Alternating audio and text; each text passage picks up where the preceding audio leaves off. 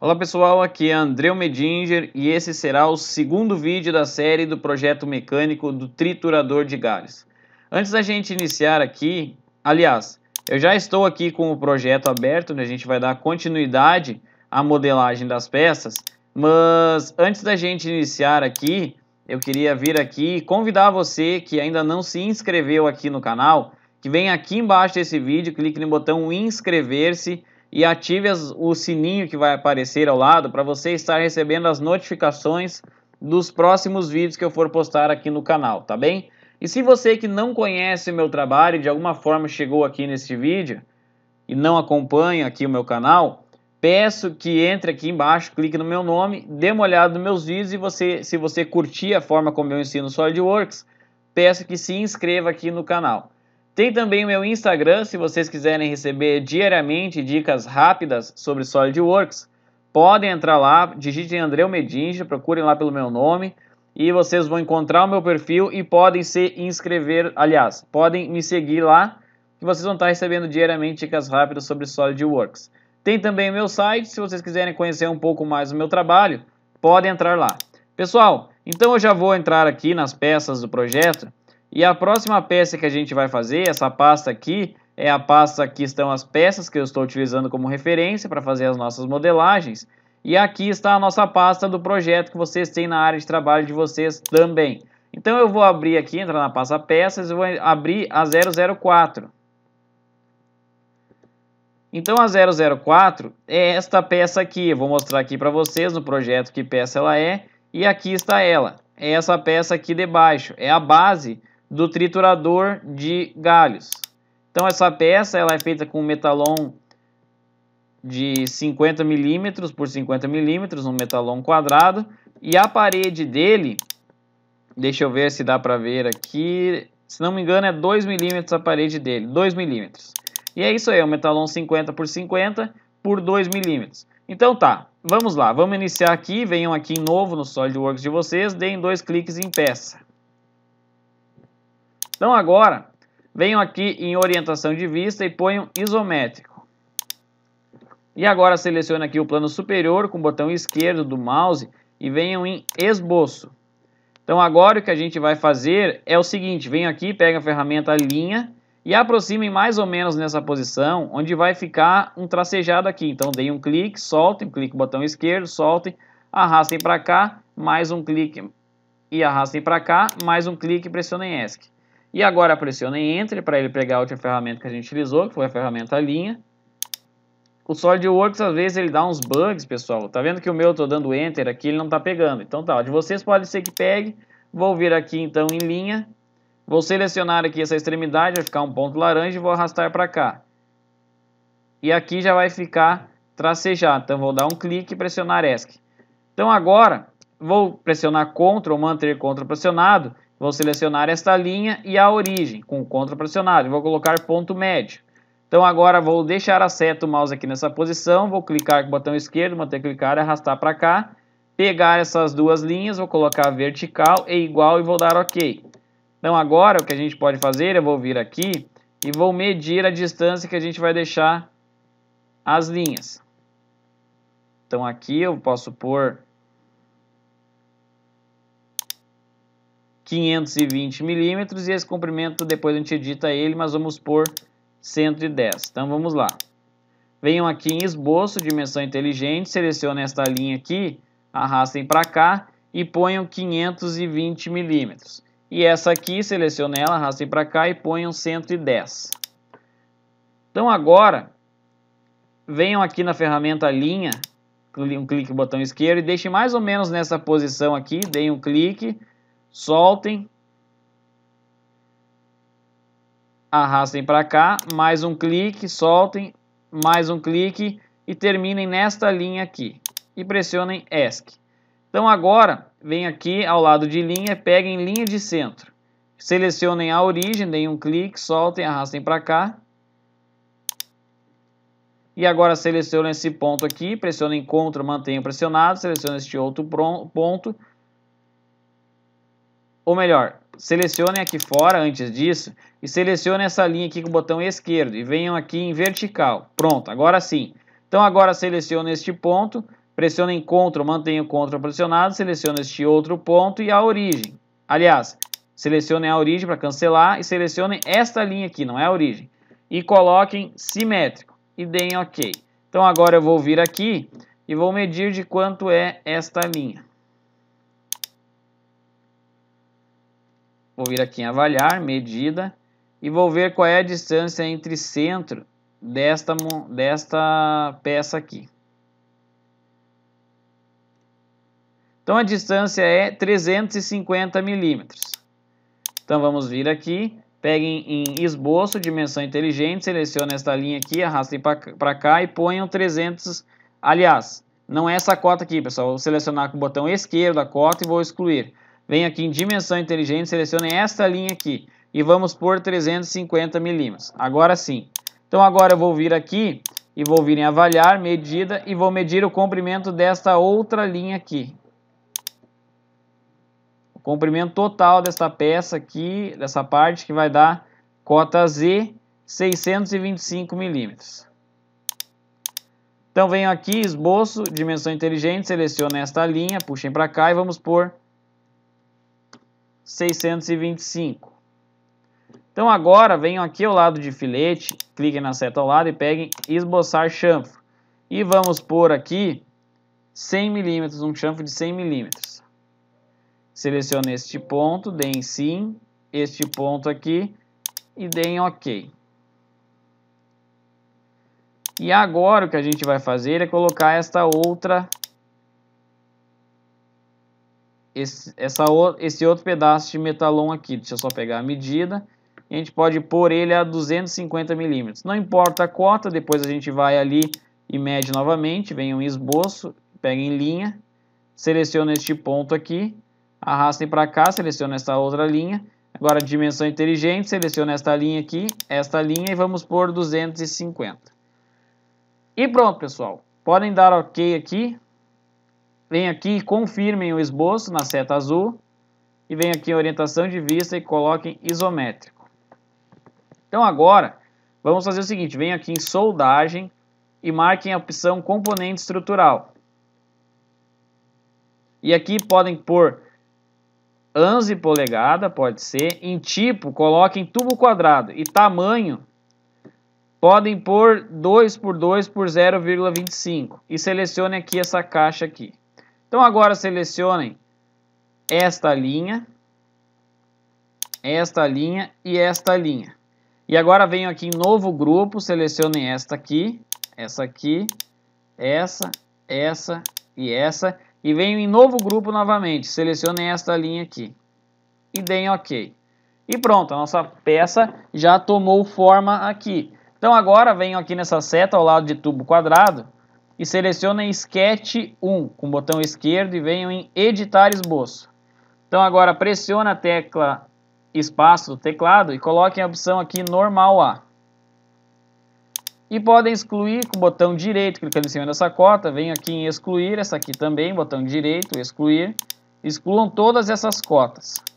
E podem também selecionar com o botão esquerdo esta, esse, esse raio e deletar ele. Aqui também a mesma coisa. E agora selecionem aqui com o botão esquerdo e mantenham pressionado e arrastem para cá essa linha. E essa aqui é a mesma coisa, até encontrar com essa outra. Mesma coisa aqui, arrastem para cá. Aqui arrastem para cá. E essa aqui arrastem para cá, fechando ela assim. Então agora vamos vir aqui em dimensão inteligente, selecione esta linha e esta aqui, arrastem para cá e podem pôr 50 milímetros. Então agora dimensão inteligente novamente, seleciono este raio e podem pôr 2. Se ele correr para cá o de vocês, não tem problema. Então agora pressionem CTRL, mantenho o CTRL pressionado, selecionem este ponto, este ponto e esta linha aqui de centro e coloquem simétrico.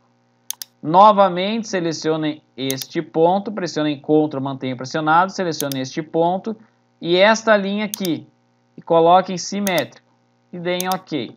Então agora venho aqui em dimensão inteligente, seleciono esta linha e esta linha aqui e vamos por 2 milímetros. Mesma coisa aqui, seleciono esta linha, esta linha e vamos por 2 milímetros. E pronto, pessoal, podem confirmar aqui o esboço.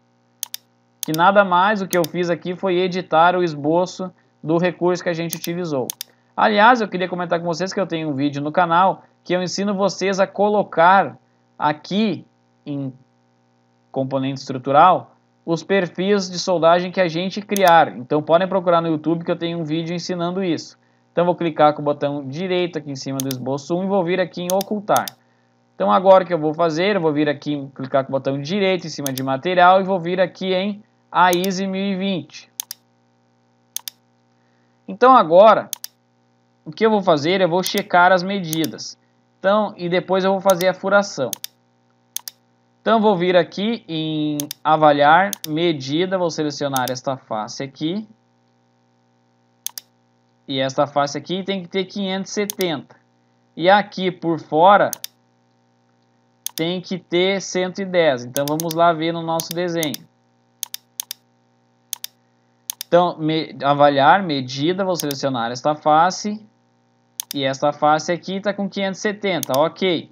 Então agora vou selecionar esta face e esta face aqui está com 135. Então eu tenho que tirar 25 milímetros, porque tem que ficar com 110.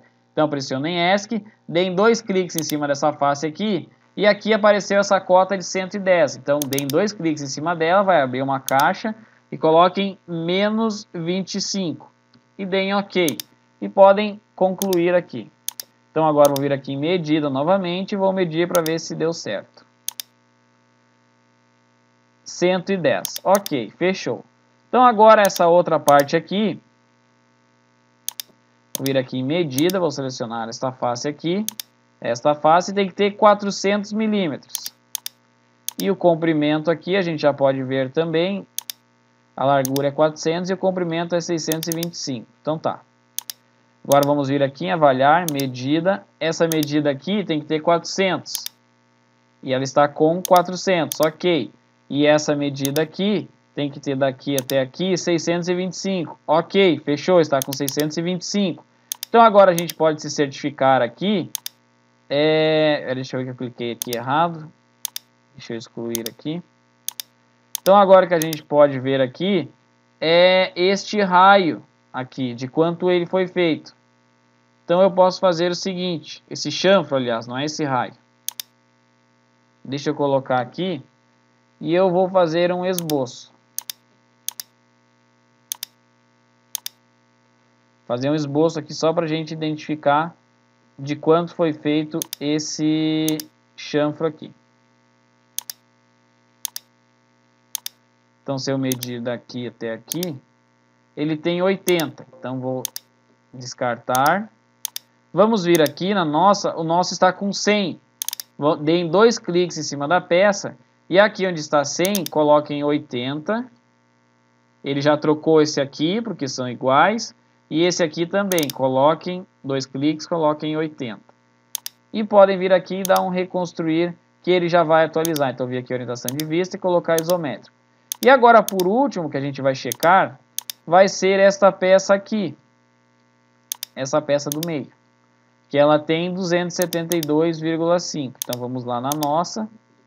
Vamos vir aqui em avaliar, medida e ela tem que ter 272,5 está com 250. Então, pressionem ESC, deem dois cliques em cima dela. E aqui onde está 50, deem dois cliques. Vai abrir a caixa de diálogo e coloquem, caixa para digitação, aliás, e coloquem mais 22,5. E ok, agora ela está na dimensão correta. Então agora o que a gente pode fazer é vir aqui em cima de peça 1, clique com o botão direito, ao lado de aparência, na seta, cliquem nela e cliquem aqui em nome da peça 1. E aqui podem pôr 67, 119 e 0. E deem OK.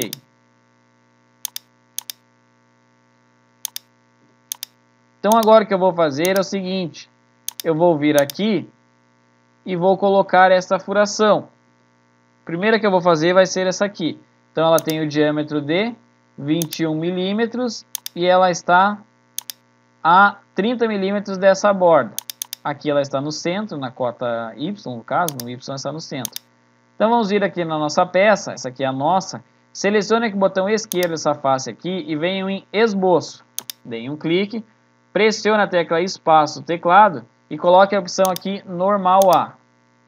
Então agora venho aqui em linha, na seta ao lado, e pego em linha de centro.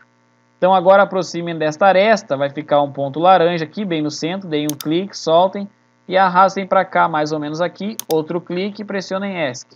Então agora vem em dimensão inteligente, selecione esta linha e ponham 30 milímetros. E agora venham aqui em círculo, selecionem essa extremidade, vai ficar um ponto laranja, cliquem para cá e pressionem ESC. Então agora dimensão inteligente, selecione este círculo, arrastem para cá e vamos por 21. E agora vamos cortar ela. Então venho aqui em recurso, corte extrudado e ao invés de deixar cego, coloque em passante e deem ok que ele vai atravessar a peça aqui. Então vem orientação de vista e põe um isométrico. Então agora vamos fazer esta furação aqui. Então, pelo que me parece, ela tem esse espaçamento padrão 87,5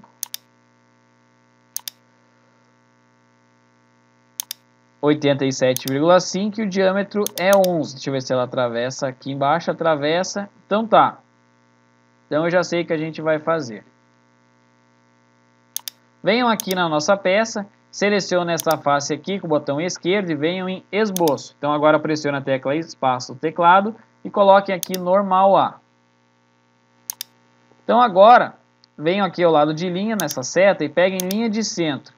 E aqui na origem está a origem de vocês, a minha também. Vai, aproxima em cima dela, vai ficar um ponto laranja, deem um clique no botão esquerdo, soltem, arrastem para cá.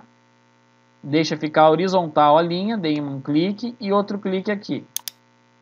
Mesma coisa agora, novamente, aqui na origem, para cá e para cá. Então agora pressione Ctrl, mantenha o Ctrl pressionado, selecione esta linha, esta, esta e essa. Selecione as quatro linhas, ponham colinear e igual e deem OK. Então agora dimensão inteligente, selecione esta linha aqui e vamos por 87,5. Então são cinco furos. Venham aqui em esboço, peguem aqui círculo, então aproximem dessa extremidade aqui, vai ficar um ponto laranja, um clique, soltem, arrastem para cá. Mesma coisa aqui nessa, nessa, nesse ponto, um clique, soltem, arrastem para cá. Aqui na origem também. Aqui. E aqui. Pressionem ESC. Então agora pressionem CTRL, mantenha o CTRL pressionado. Selecione este círculo, este, este, este e este. E coloquem igual. E deem OK. Então vem aqui em dimensão inteligente, selecione esse círculo aqui e ponham 11. E deem OK. Então a gente já pode fazer esses outros aqui também. Então já vou vir aqui, já vou medir eles, avaliar, medida. Então eles estão a uma cota de cota Z, 66,67 um do outro. E a distância dele para cá é a cota Z, 175. 175 milímetros. Então vamos lá. Vamos, vamos vir aqui na nossa peça. Venham aqui em esboço peguem ao lado de linha, linha de centro. Então aqui, deem um zoom aqui peguem este ponto aqui laranja que é o centro dessa aresta. Vai ficar um pontinho laranja, um clique, soltem e arrastem para cá. Um aqui, um aqui e um aqui. Então agora eu vou vir aqui e vou medir eles. Avaliar, medida. Vou pegar esta cota aqui, que dá na cota Z 41,67 e a distância de um para o outro. Primeiro vamos pôr lá, porque é medida quebrada, pessoal, então eu vou acabar me perdendo aqui. Então venho aqui em esboço, dimensão inteligente, seleciono esta linha, arrastem para cá e vamos pôr Tá vendo? Eu já esqueci da cota. Vou voltar aqui para ver. Avaliar, medida. Acho que era 41.67. Isso aí, 41.67. Então eu vou vir aqui em esboço, dimensão inteligente, aqui onde está 20, vou dar dois cliques, vou pôr 41,67. Então agora pressiono em CTRL, mantenho o CTRL pressionado, seleciono esta linha aqui e esta aqui e coloco em colinear e igual. Então agora vamos medir aqui, vou vir em avaliar, medida, vou selecionar este círculo e este círculo aqui vou pôr a cota de 66.67. Então vou vir aqui em esboço, dimensão inteligente, vou selecionar esta linha aqui e vou pôr 66,67 e vou dar OK. Então o que falta aqui, vou dar o Ctrl Z, é você selecionar esta linha aqui e colocar nela vertical. E OK. Então agora vou vir aqui, pegar a ferramenta círculo, vou ficar nessa extremidade aqui, vou dar um clique, arrastar para cá, mesma coisa aqui e a mesma coisa aqui. Então agora vou pressionar Ctrl, manter Ctrl pressionado, vou selecionar este círculo, este e este. Vou colocar igual e vou dar OK e vou vir em dimensão inteligente, vou selecionar esse aqui e vou pôr 11. E ele já vai mudar todos os outros porque eles são todos iguais. Então agora venham aqui em, ao lado de linha, peguem linha de centro. E façam uma linha aqui na origem, deem um clique aqui e arrastem aqui para cima, deixando a linha vertical. Aqui está a linha vertical. Selecionem aqui, deem ESC. Deixem ela vertical, pessoal, aqui encostando aqui nessa aresta. Então agora vou, vou vir aqui em espelhar entidades. E entidades espelhar, vou selecionar este círculo, este e este. E aqui espelhar em relação a, vou selecionar esta linha aqui e ele já vai mostrar aqui uma pré-visualização amarela e vou dar OK. Então vou vir aqui em recurso, corte extrudado e vou pôr passante que ele vai pegar todos esses furos aqui, vai identificar eles e vai fazer um corte. Vou dar OK e pronto, pessoal. Finalizamos aqui a nossa peça. Então venham aqui no plano direito, clique com o botão esquerdo em cima dele, venham em exibir e arrastem o plano para cá. Vamos deixar ele cortando a nossa peça, porque futuramente nas nossas montagens a gente vai utilizar. Então esta peça aqui, eu quero explicar para vocês que ela é o seguinte, ela é uma peça que são, é, como eu já falei, é um metalon ou tubo quadrado, algumas regiões do país conhecem como metalon, outras como tubo quadrado, enfim, é um tubo quadrado, e ele vai ser todo cortado em uma serra-fita, basicamente, ou numa máquina policorte, e vai ser juntado aqui com solda, ou seja, corta aqui 45, solda. Então vai solda aqui, aqui vai esmerilhar depois de soldar, aqui vai um filete de solda, então aqui também vai solda, dos dois lados. Aqui vai solda, vai um filete de solda. Então essa é a construção dele, pessoal. Então aqui está finalizada a nossa peça. Então vamos vir aqui em... Deixa eu só ver qual é o código dela, é a 004. Então vamos vir em salvar. Selecionem aqui na área de trabalho a nossa pasta, que é a PMTG 0011800. E selecionem a peça PTTG 003. Só para a gente pegar o código dela e deem três cliques aqui e ao invés de deixar 003, vamos por 004 e vamos dar Enter e pronto, finalizamos mais uma peça. Vamos salvar aqui mais uma vez e vou fechar aqui. Aqui foi a que eu utilizei como referência, não vou salvar ela. Vou vir aqui na área de trabalho e já vou excluir a 004 da minha pasta que eu estou utilizando. Então a próxima peça que a gente vai abrir é a 005. Então aqui extrair ela, já vou abrir a 005. Então ela é esta peça aqui, vou mostrar aqui na montagem para vocês qual é a peça. E aqui está ela, é esta peça aqui. Seria uma escora para essa base aqui. Então aqui está ela, pessoal, é esta peça. Então vamos lá. Venham aqui em novo, dois cliques em peça. Selecionem aqui em orientação de vista, ponham isométrica. Eu só faço isso aqui, não é obrigatório fazer. Eu só faço para vocês entenderem onde estão os planos aqui e qual plano a gente vai iniciar. Porque eu quero deixar essa isométrica dessa peça igual a esta isométrica aqui. Então eu vou começar pelo plano direito. Vou vir aqui com o botão esquerdo em cima dele e vou vir em esboço. E ele já habilitou aqui para mim, colocou paralelo à tela do computador e normal a minha visão. Então, Agora vou vir aqui e vou pegar a ferramenta linha. Um clique nela e venho aqui mais ou menos aqui em cima, está tracejado com a origem, um clique aqui em cima, soltem, o botão esquerdo.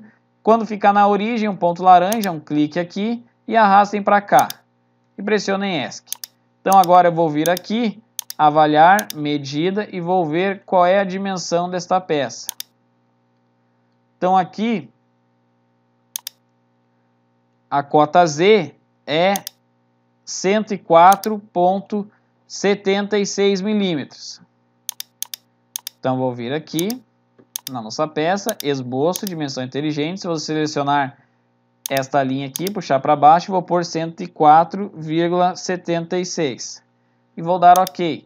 E agora já vou vir aqui, novamente, e vou vir em avaliar, medida, vou selecionar esta face aqui, e esta face, a cota Y deu 137,56, e a espessura desta chapa é 4,8. Então, aqui essa cota, já esqueci, deixa eu ver aqui, selecionar esta face. Então, deu a cota Y, deu 137,56. Então, vamos vir aqui na nossa peça. Em esboço, venho em dimensão inteligente. Seleciono esta linha aqui, arrastem para cá e vamos por 137,56. E agora, eu já vou vir aqui e vou medir em avaliar medida. Vou ver de quanto é o comprimento a largura, aliás, a profundidade desta peça. Então é 160 milímetros. E já vou ver também de quanto é esse raio. Ele é de 25. Então vamos lá. Então venho aqui em chapa metálica, coloque em flange, base e aba. Aqui em direção 1, coloque em 160. E aqui em cego, ponha um plano médio, que ele vai colocar o esboço no centro da peça. Então cuidem aqui só, porque o esboço tem que estar, aliás, a visualização da peça aqui tem que estar dentro do esboço. Se eu vir aqui em, direção inversa, ele inverte, estão vendo? Então deixem assim como está o meu. Então aqui na espessura, vamos por 4,8, que equivale a uma chapa de 3 16 polegadas. E aqui no raio deixem 6 milímetros e podem dar OK, pessoal. Então aqui está a nossa peça, vem aqui orientação de vista, por isométrico. E aqui em recursos vou vir em filete. E aqui vou selecionar aqui essa primeira opção e vou pôr um raio de 25. E vou selecionar esta aresta aqui e esta aresta. E vou dar OK. Vou só abrir aqui a minha peça para me certificar e pronto, está pronta ela realmente. Então agora vou vir aqui com o botão direito em material, a ISO 1020. Vou vir aqui o botão direito. Desculpa, pessoal. Vou vir aqui com o botão esquerdo em cima do plano direito e vou vir aqui em exibir. E ele vai mostrar aqui para mim o plano direito. Então vou pôr aqui para cima. Só para ajustar um pouco o tamanho dele, arrastar aqui. Então agora eu vou vir aqui em cima da peça 2, clicar com o botão direito e vou vir aqui em colar aparência, que ele vai colar o verde da peça anterior. É assim que funciona o SolidWorks.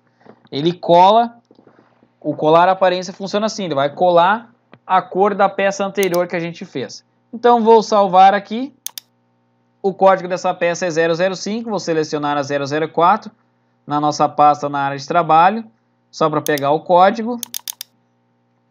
E vou pôr aqui, ao invés de deixar 004, vou pôr 005.